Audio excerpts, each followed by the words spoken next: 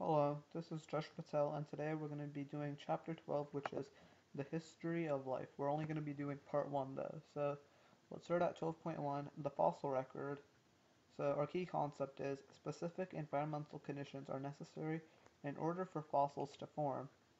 Fossils can form in several ways.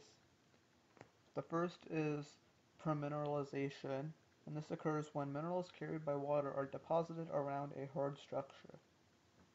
So as we know, fossils are basically the main thing scientists use to discover the past, and they're just imprints that were made by animals or plants long, long ago. A natural cast forms when flowing water removes all the original tissue, leaving an impression. We don't really have to know the specific ways fossils are formed, but we're just going to go over them anyway. So this is a cast. And then there's trace fossils, and they record the activity of an organism. So basically footprints. It shows that they were active in walking.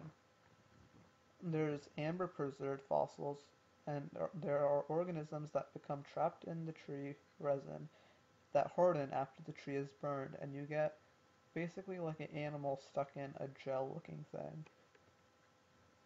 Preserved remains form when an entire organism becomes encased in a material such as ice. So ice, as we know, preserves things really well, and that's why we put things in the refrigerator. So to get this, it's basically like putting a human in or, or whichever this creature was in a refrigerator, aka ice. Specific conditions are needed for fossilization, and only a tiny percent of living things become a fossil. So not every dinosaur become a fossil, became a fossil, only some have. Radiometric dating provides an accurate way to estimate the age of fossils. So radiometric dating is basically using elements to radioact and their radioactive decay, their half-lives, to estimate how old a fossil is. So relative dating estimates the time during which an organism lives and relative dating is just basing it off another thing that they already know the date of. So it, it compares the placement of fossils and layers of rocks. Scientists infer the order in which species existed. So they basically take fossils from the top, they would say, if they found a fossil at the top layer and they found one at the bottom layer, they would say, well, the fossil at the bottom layer was found lower in the Earth's crust, therefore it must, it must be older. And that's basically what they do in relative dating. Then we have radiometric dating, which uses decaying of unstable isotopes. Isotopes are atoms of an element that differ in the number of neutrons. So this carbon has 6 neutrons, while this one has 8 neutrons. And they usually use carbon. It's usually called carbon dating. A half-life is the amount of time it takes for half the isotope to decay. So we have 100, here we have 50, and so the time it takes to get to 50 would be the half-life. And then it, they just keep doing it, so 50 to 25, 25 to 12.5, and so on and so on. So 12.2, the geologic timescale. The geologic timescale divides Earth's history based on major past events. Index fossils are another tool to determine the age of, a of rock layers. Index fossils are just fossils that are used to relate things. So if they find a fossil in a certain layer, they'll date that fossil and they say this layer must be this years old because it's either right on top of the fossil or right below the fossil. Index fossils can provide the relative age of a rock layer. Exist only during specific spans of time, occur in large geographic areas. Index fossils include fussulins and trilobites. We don't need to know that. So, the geologic timescale organizes Earth's history. The history of Earth is represented in geologic timescales. So it's basically a timeline for Earth's history. Eras last 10 to, 100 to, 10 to hundreds of millions of years. Consist of two or more periods and there are three areas, the Cenozoic, Mesozoic, and Paleozoic. I don't think you guys will be asked much detail about them, but just know the names and the orders of them. So first we have Cenozoic.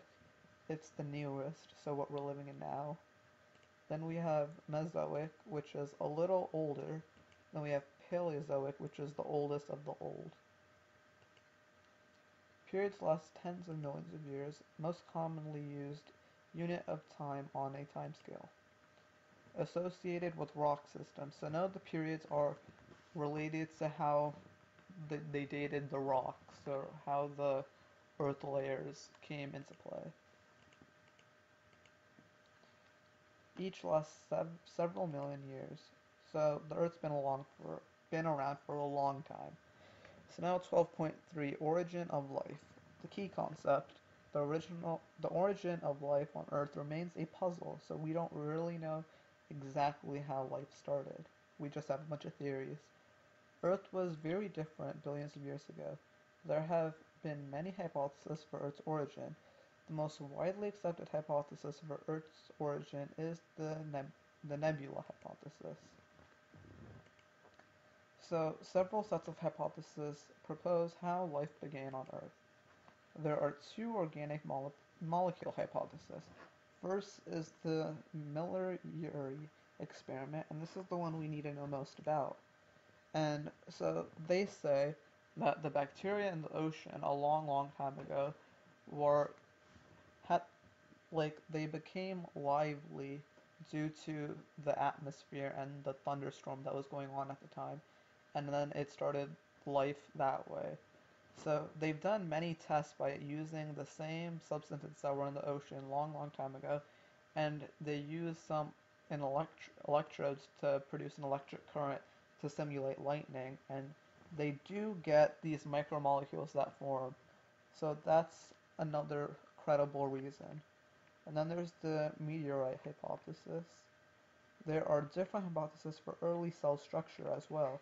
There's iron sulfide bubble hypothesis, and then the lipid membrane hypothesis. We don't need to know in depth about any of these.